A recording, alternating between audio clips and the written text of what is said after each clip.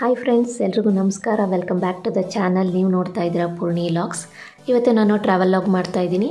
ಇವತ್ತಿನ ಟ್ರಾವೆಲ್ ಲಾಗು ನಂಜನಗೂಡಿನಲ್ಲಿ ಇರುವಂತಹ ಶ್ರೀಕಂಠೇಶ್ವರ ದೇವಸ್ಥಾನ ಮತ್ತು ವಿಶ್ವದಲ್ಲೇ ಏಕೈಕ ವಿಗ್ರಹ ರೂಪದಲ್ಲಿರುವಂತಹ ರಾಯರ ಮಠ ಹೇಗಿದೆ ಅಂತ ತೋರಿಸ್ತೀನಿ. ಅದಕ್ಕೂ ಮುಂಚೆ ಚಾನಲ್ನ ಹೊಸದಾಗಿ ನೋಡ್ತಾ ಇದ್ದರೆ ಸಬ್ಸ್ಕ್ರೈಬ್ ಮಾಡಿ, ಹಾಗೆ ಪಕ್ಕದಲ್ಲಿರೋ ಬೆಲೆಕೊಂಡು ಮರಿದಲ್ಲೇ ಕ್ಲಿಕ್ ಮಾಡಿ. ಇದರಿಂದ ಹೊಸ ಹೊಸ ವೀಡಿಯೋಸ್ ಬಂದರೆ ನೋಟಿಫಿಕೇಷನ್ ಬರ್ತಾನೆ ಇರುತ್ತೆ. ನನ್ನ ಚಾನಲ್ಗೆ ಸಬ್ಸ್ಕ್ರೈಬ್ ಆಗೋದು ಫ್ರೀ ಆಫ್ ಕಾಸ್ಟ್ ವಿಡಿಯೋಗೆ ಲೈಕ್ ಮಾಡಿ ಕಮೆಂಟ್ ಮಾಡಿ, ಹೆಚ್ಚು ಜನಕ್ಕೆ ಈ ವಿಡಿಯೋನ ಶೇರ್ ಮಾಡಿ. ಫ್ರೆಂಡ್ಸ್ ಇವಾಗ ನಾವು ನಂಜನಗೂಡಿಗೆ ಬಂದಿದ್ದೀವಿ. ಹಾಗೆಯೇ ಮೊದಲು ನಾವು ಇಲ್ಲಿ ಗಂಗೆ ಪೂಜೆ ಮಾಡಿಬಿಟ್ಟೆ ಟೆಂಪಲ್ ಹತ್ರ ಹೋಗೋದು. ಇವಾಗಂತೂ ತುಂಬಾ ನೀಟಾಗಿ ಮೇಂಟೈನ್ ಮಾಡಿದ್ದಾರೆ ಅಂತ ಹೇಳ್ಬೋದು. ಮೊದಲೆಲ್ಲ ಹೋಗೋಕ್ಕೆ ತುಂಬಾ ಬೇಜಾರು ಅಂತ ಅನ್ನಿಸ್ತಾ ಇತ್ತು. ಯಾಕೆಂದರೆ ಸ್ನಾನ ಮಾಡಿಬಿಟ್ಟು ಅಲ್ಲಲ್ಲೇ ಬಟ್ಟೆ ಬಿಡೋದು, ಒಂಥರ ತುಂಬಾ ಗಲೀಜು ಮಾಡಿಬಿಟ್ಟಿದ್ರು. ಬಟ್ ಈಗಂತೂ ತುಂಬಾ ಖುಷಿ ಆಗುತ್ತೆ. ತುಂಬ ಹೊತ್ತು ಅಲ್ಲಿ ಟೈಮ್ ಸ್ಪೆಂಡ್ ಮಾಡ್ಬೋದು. ಆ ಥರ ಇದೆ ಇವಾಗ. ತುಂಬಾ ಚೆನ್ನಾಗಿದೆ ಅಂತ ಹೇಳ್ಬೋದು. ಲಾಸ್ಟ್ ಇಯರಿಂದ ಈ ರೀತಿ ಮೇಂಟೈನ್ ಮಾಡ್ತಾ ಇದ್ದಾರೆ. ನೋಡೋಕ್ಕೂ ಅಷ್ಟೇ ತುಂಬಾ ನೀಟಾಗಿದೆ ಅನಿಸುತ್ತೆ. ಸೊ ಇವಾಗ ನಾವು ಟೆಂಪಲ್ ಹತ್ರ ಬಂದಿದ್ದೀವಿ. ಕಾರ್ ಪಾರ್ಕ್ ಮಾಡಿ ದರ್ಶನಕ್ಕೆ ಕೂಡ ಹೋಗಬೇಕು. ನೋಡಿ, ಇದು ನಂಜನಗೂಡಿನ ದೇವಸ್ಥಾನದ ಗೋಪುರ. ನನಗಂತೂ ಈ ಗೋಪುರ ತುಂಬಾ ಇಷ್ಟ ಆಗುತ್ತೆ. ತುಂಬಾ ಚೆನ್ನಾಗಿದೆ ಅಲ್ವಾ? ಹಾಗೆಯೇ ದರ್ಶನಕ್ಕೆ ಕೂಡ ಹೋಗಬೇಕು. ಒಳಗಡೆ ಎಲ್ಲ ವಿಡಿಯೋ ಶೂಟ್ ಮಾಡೋಕ್ಕೆ ಅಲೌಡ್ ಇಲ್ಲ. ಸೊ ಹಾಗಾಗಿ ನಾನು ಹೊರಗಡೆ ಮಾತ್ರ ವಿಡಿಯೋ ಶೂಟ್ ಮಾಡಿದ್ದೀನಿ. ಒಳಗಡೆ ದರ್ಶನ ಮುಗಿಸ್ಕೊಂಡು ಒಂದು ಸ್ವಲ್ಪ ವಿಡಿಯೋ ಮಾಡೋಕ್ಕೆ ಟ್ರೈ ಮಾಡಿದೆ. ತುಂಬ ಜನ ಅಂತೂ ತುಂಬಾ ಇದ್ದರು ಆದ್ರೂ ದರ್ಶನ ತುಂಬ ಚೆನ್ನಾಗಾಯಿತು. ಫ್ರೆಂಡ್ಸ್ ನಿಮಗೆ ಒಂದು ಇನ್ಫಾರ್ಮೇಷನ್ ಕೂಡ ಕೊಡ್ತೀನಿ. ಸೊ ನಂಜನಗೂಡು ಟೆಂಪಲಲ್ಲಿ ಇವಾಗ ಪ್ಲಾಸ್ಟಿಕ್ ಕವರ್ಸ್ಗಳನ್ನ ಯೂಸ್ ಮಾಡೋಂಗಿಲ್ಲ. ಅಂದರೆ ಏನಾದ್ರು ಹಣ್ಣು ಕಾಯಿ ಮಾಡ್ಸೋಕ್ಕೆ ಅಂತ ನೀವೇನಾದ್ರು ತೊಗೊಂಡೋದ್ರೆ ಟೆಂಪಲ್ ಒಳಗಡೆ ಬಿಡಲ್ಲ, ಔಟ್ಸೈಡೇ ಅದನ್ನು ಇಸ್ಕೊಂಡ್ಬಿಡ್ತಾರೆ. ಇಲ್ಲೆಲ್ಲ ಇವಾಗ ಬಟ್ಟೆ ಬ್ಯಾಗ್ ಬರುತ್ತಲ್ಲ, ಆ ಥರದ್ದು ಮಾತ್ರ ಯೂಸ್ ಮಾಡಬೇಕಂತೆ. ಸೊ ನೀವೇನಾದರೂ ನಂಜನಗೂಡು ಟೆಂಪಲ್ಗೆ ಹೋಗ್ಬೇಕಾದ್ರೆ ಆದಷ್ಟು ಬಟ್ಟೆ ಬ್ಯಾಗು ತೊಗೊಂಡೋಗಿ ಅಂತ ಹೇಳೋಕ್ಕೆ ಇಷ್ಟಪಡ್ತೀನಿ. ಯಾಕೆಂದರೆ ಇಲ್ಲಿ ಪ್ಲಾಸ್ಟಿಕ್ ಕವರ್ಸ್ನ ಬ್ಯಾನ್ ಮಾಡಿದ್ದಾರೆ, ಅದಕ್ಕೋಸ್ಕರ ಹೇಳ್ತಾ ಇದ್ದೀನಿ. ನೀವೇನಾದ್ರು ಹಣ್ಣು ಕಾಯಿ ಮಾಡಿಸ್ಬೇಕು ಅಥವಾ ಹೂವು ತೊಗೊಂಡೋಗ್ಬೇಕು ಅಂದರೆ ಬಟ್ಟೆ ಬ್ಯಾಗಲ್ಲಿ ತೊಗೊಂಡೋಗಿ, ಅಂದರೆ ದೇವಸ್ಥಾನದ ಒಳಗಡೆ ನಿಮಗೆ ಅದನ್ನು ತೊಗೊಂಡೋಗೋಕ್ಕೆ ಬಿಡ್ತಾರೆ. ಈಗ ದರ್ಶನ ಎಲ್ಲ ಮುಗಿಸ್ಕೊಂಡು ಹೊರಟಿದ್ದೀವಿ ಸೊ ಒಂದು ವ್ಯೂ ತೋರಿಸ್ತೀನಿ, ನೋಡಿ ಹೇಗೆ ಕಾಣಿಸುತ್ತೆ ಅಂತ. ಈ ಟೆಂಪಲಿಗೆ ಬಂದು ಪರಶುರಾಮ ಟೆಂಪಲ್ಗೆ ಕೂಡ ಹೋಗಬೇಕು ಅಂತ ಹೇಳ್ತಾರೆ. ಈ ಟೆಂಪಲಿಂದ ಪರಶುರಾಮ ಟೆಂಪಲ್ಲು ಕೂಡ ತುಂಬಾ ಹತ್ತಿರ ಆಗುತ್ತೆ. ಇವತ್ತು ನಾನು ನಿಮಗೆ ನಂಜನಗೂಡಿನಲ್ಲಿ ಇರುವಂತಹ ಶ್ರೀ ಶ್ರೀ ರಾಘವೇಂದ್ರ ಸ್ವಾಮಿಗಳ ಪ್ರತೀಕ ಸನ್ನಿಧಾನ ಅಂತ ಒಂದು ಮಠ ಇದೆ. ಅದು ಹೇಗಿದೆ ಅಂತ ಇವಾಗ ನಾನು ನಿಮಗೆ ತೋರಿಸ್ತೀನಿ. ಗುರು ರಾಘವೇಂದ್ರ ಸ್ವಾಮಿಗಳು ವಿಗ್ರಹದ ರೂಪದಲ್ಲಿ ನೆಲೆಸಿರುವ ಏಕೈಕ ಪುಣ್ಯಕ್ಷೇತ್ರವಿದು. ಫ್ರೆಂಡ್ಸ್ ನೋಡ್ತಾ ಇದ್ದೀರಲ್ವಾ ಇದು ಮಠದ ಫ್ರಂಟ್ ವ್ಯೂ ತೋರಿಸ್ತಾ ಇದ್ದೀನಿ. ತುಂಬಾ ಚೆನ್ನಾಗಿದೆ ಮಠ. ನೀವು ಕೂಡ ನಂಜನಗೂಡಿಗೆ ಹೋದರೆ ತಪ್ಪದೆ ಈ ಒಂದು ಮಠಕ್ಕೆ ಭೇಟಿ ನೀಡಿ ರಾಯರ ದರ್ಶನವನ್ನು ಪಡೀರಿ ಅಂತಲೇ ಹೇಳ್ತೀನಿ. ಯಾಕೆಂದರೆ ಕಲಿಯುಗದ ಕಾಮಧೇನು ನಮ್ಮ ಗುರು ರಾಘವೇಂದ್ರ ಸ್ವಾಮಿಗಳು ಭಕ್ತರನ್ನು ಉದ್ಧರಿಸಬೇಕು ಅಂತ ಅವರು ಬೃಂದಾವನದಲ್ಲಿ ನೆಲೆಸಿದ್ದಾರೆ.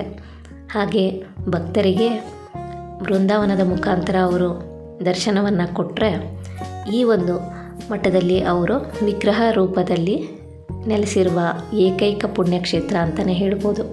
ಹಾಗೆಯೇ ನೀವು ನೋಡಿರ್ಬೋದು ಎಲ್ಲ ಮಠಗಳಲ್ಲೂ ಮೃತಿಕಾ ಬೃಂದಾವನ ಇರುತ್ತೆ.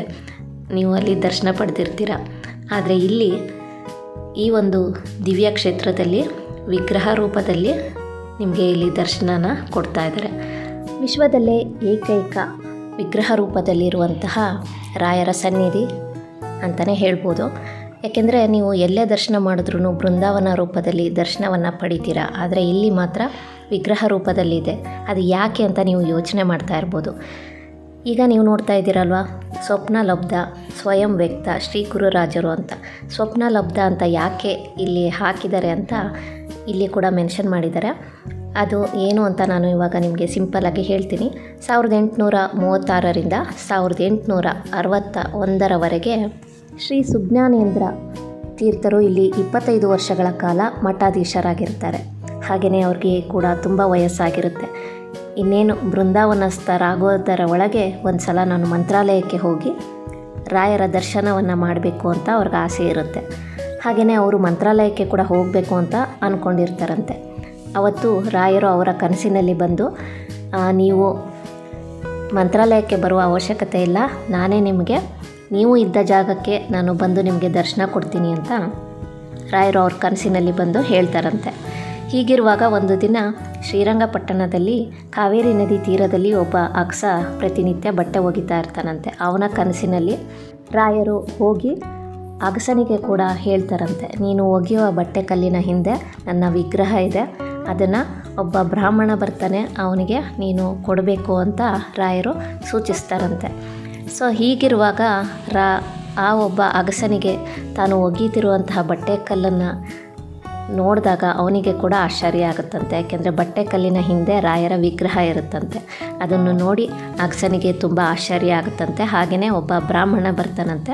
ಅವನಿಗೆ ಆ ಒಂದು ವಿಗ್ರಹವನ್ನು ಕೊಡ್ತಾನಂತೆ. ಬ್ರಾಹ್ಮಣನ ಕನಸಿನಲ್ಲಿ ಕೂಡ ರಾಯರು ಹೋಗಿ ಆ ಒಂದು ವಿಗ್ರಹನ ಅಗಸನಿಂದ ಪಡೆದು ಸುಜ್ಞಾನೇಂದ್ರ ತೀರ್ಥರಿಗೆ ಕೊಡುವುದಾಗಿ ಸೂಚಿಸಿರ್ತಾರೆ. ಈ ಒಂದು ವಿಗ್ರಹವನ್ನು ಪಡೆದ ಸುಜ್ಞಾನೇಂದ್ರ ತೀರ್ಥರು ಮುಮ್ಮಡಿ ಕೃಷ್ಣರಾಜ ಒಡೆಯರ ಸಮ್ಮುಖದಲ್ಲಿ ಈ ಒಂದು ವಿಗ್ರಹವನ್ನು ಪ್ರತಿಷ್ಠಾಪನೆ ಮಾಡ್ತಾರೆ. ಮೊದಲೇ ಮುಮ್ಮಡಿ ಕೃಷ್ಣರಾಜ ಒಡೆಯರ ಕನಸಿನಲ್ಲಿ ಕೂಡ ರಾಯರು ಹೋಗಿ ಒಂದು ಮಠವನ್ನು ಕಟ್ಟಿಸುವುದಾಗಿ ಅವ್ರಿಗೆ ಅಪ್ಪಣೆಯನ್ನು ಕೊಟ್ಟಿರ್ತಾರೆ. ಸೊ ಹೀಗೆ ಅವರು ಅಪ್ಪಣೆಯನ್ನು ಕೊಟ್ಟ ನಂತರ ಇಲ್ಲಿ ಮಠವನ್ನು ಕೂಡ ಕಟ್ಟಿಸ್ತಾರೆ. ನಿಮಗೆ ಈಗ ಗೊತ್ತಾಗಿರ್ಬೋದು, ಇದು ಮುಮ್ಮಡಿ ಕೃಷ್ಣರಾಜ ಒಡೆಯರ ಕಾಲದಲ್ಲಿ ಕಟ್ಟಿಸಲ್ಪಟ್ಟಂತಹ ಮಠ ಅಂತ. ತುಂಬ ವಿಶೇಷವುಳ್ಳಂತಹ ಮಠ ಅಂತಲೇ ಹೇಳ್ಬೋದು. ಯಾಕೆಂದರೆ ಇಲ್ಲಿ ಮುಖ್ಯ ಪ್ರಾಣ ದೇವರ ಒಂದು ಸನ್ನಿಧಿಯಲ್ಲಿ ರಾಯರು ವಿಗ್ರಹ ಪ್ರತಿಷ್ಠಾಪನೆ ಆಗಿದೆ. ಇದು ಇಲ್ಲಿನ ಒಂದು ವಿಶೇಷತೆ. ಮಠ ಕೂಡ ತುಂಬಾ ಚೆನ್ನಾಗಿದೆ. ಈಗ ನಾನು ನಿಮಗೆ ಒಂದು ಕಂಬ ತೋರಿಸ್ತಾ ಇದ್ದೀನಿ. ಇದು ಒಂದು ವಿಶೇಷವಾಗಿದೆ ಅಂತ ನಿಮ್ಗೆ ಅನ್ನಿಸ್ತಾ ಇದೆ.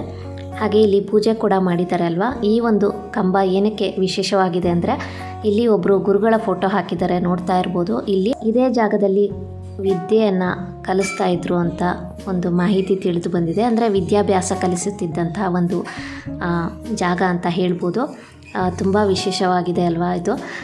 ಹಾಗೆಯೇ ಇಲ್ಲಿ ಒಂದು ರಾಯರ ಸ್ಟ್ಯಾಚು ಕೂಡ ಇದೆ, ತೋರಿಸ್ತೀನಿ.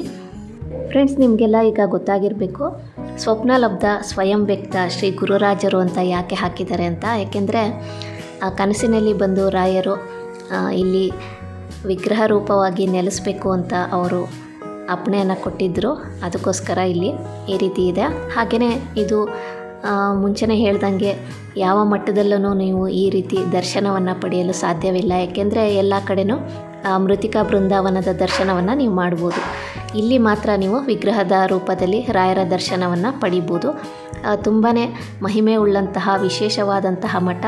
ಈ ಮಠಕ್ಕೆ ಬಂದು ನೀವು ಏನೇ ರಾಯರನ್ನ ಕೇಳಿಕೊಂಡ್ರೂ ನಿಮ್ಮ ಇಷ್ಟಾರ್ಥಗಳು ಶೀಘ್ರವಾಗಿ ನೆರವೇರುತ್ತೆ. ಈ ಮಠದಿಂದ ಸ್ವಲ್ಪ ದೂರದಲ್ಲೇ ಪಂಚಬೃಂದಾವನ ಅಂತ ಕೂಡ ಒಂದು ಜಾಗ ಇದೆ. ಆ ಜಾಗಕ್ಕೆ ಕೂಡ ನೀವು ಹೋಗಿ ಅಲ್ಲಿ ಕೂಡ ಪಂಚಬೃಂದಾವನದ ದರ್ಶನವನ್ನು ಮಾಡ್ಬೋದು. ನಾನು ಲಾಸ್ಟ್ ಇಯರ್ ಹೋಗಿ ಅಲ್ಲಿ ವಿಡಿಯೋ ಕೂಡ ಮಾಡ್ಕೊಂಬಂದಿದ್ದೀನಿ ಆ ವಿಡಿಯೋ ಲಿಂಕನ್ನು ಬೇಕಾದ್ರೆ ಡಿಸ್ಕ್ರಿಪ್ಷನ್ ಬಾಕ್ಸಲ್ಲಿ ಕೊಟ್ಟಿರ್ತೀನಿ. ಅದನ್ನು ಕೂಡ ಚೆಕ್ ಮಾಡಿ. ಹಾಗೆ ನಾವು ಇಲ್ಲಿ ಬಂದಾಗ ಎರಡು ಗಂಟೆ ಆಗಿತ್ತು. ಗರ್ಭಗುಡಿ ಕ್ಲೋಸ್ ಆಗಿತ್ತು. ಆಂಜನೇಯ ಸ್ವಾಮಿಯ ದರ್ಶನವನ್ನು ನಿಮಗೆ ಮಾಡ್ಸೋಕ್ಕಾಗಲಿಲ್ಲ ಹಳೆ ವಿಡಿಯೋ ಅಲ್ಲಿದೆ. ನೀವು ಅದನ್ನು ಚೆಕ್ ಮಾಡಿ. ಇವತ್ತಿನ ಟ್ರಾವೆಲ್ ಲಾಗ್ ನಿಮ್ಗೆ ಇಷ್ಟ ಆಗಿದೆ ಅಂತ ಅನ್ಕೊತೀನಿ. ಇಷ್ಟ ಆದರೆ ವಿಡಿಯೋಗೊಂದು ಲೈಕ್ ಮಾಡಿ ಕಮೆಂಟ್ ಮಾಡಿ. ಹೆಚ್ಚು ಜನರಿಗೆ ಈ ವಿಡಿಯೋನ ಶೇರ್ ಮಾಡಿ. Thank you for watching